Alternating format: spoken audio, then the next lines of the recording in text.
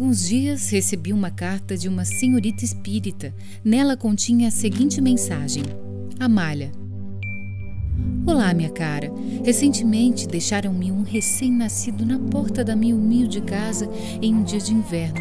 Que crueldade! Desde então fiquei emocionada por tal ocorrido e logo senti uma ligação muito forte por ele. Parece que já o amo há muito tempo. Sempre tentei ter um filho e nunca consegui. E justamente nesse momento na qual eu acreditava estar sozinha e estéril, esse lindo ser veio alegrar minha vida.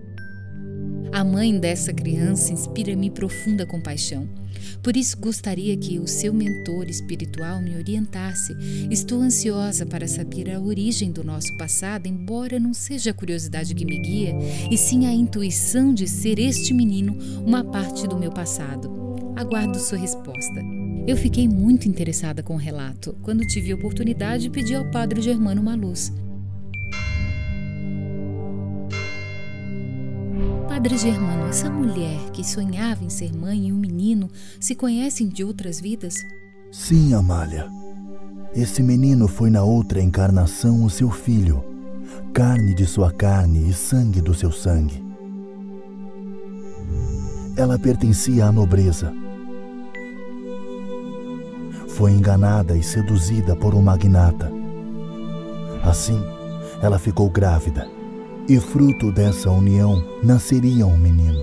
Certo dia, ela descobriu que ele não poderia se comprometer, porque já havia uma outra mulher como companheira. Isso a deixou arrasada. Depois de constatar o fato, contou ao seu irmão mais velho.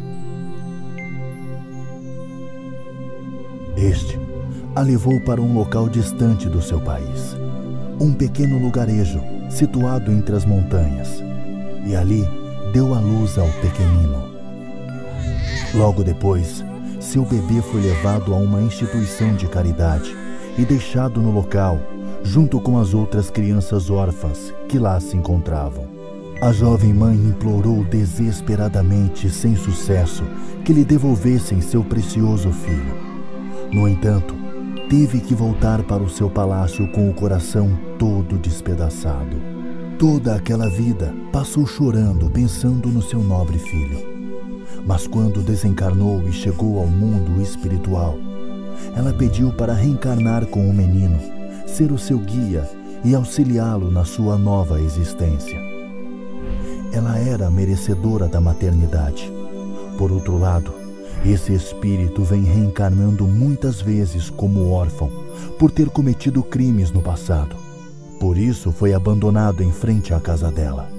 Amália, diga àquela mulher que ame muito o pequeno bebê que lhe foi confiado, para que ela possa orientá-lo ao bem, a fim de fazê-lo crescer e evoluir. Que história tão comovente! Ficará contente a mulher generosa que recolheu o pequeno náufrago do mar da vida. Felizes as almas que sabem amar.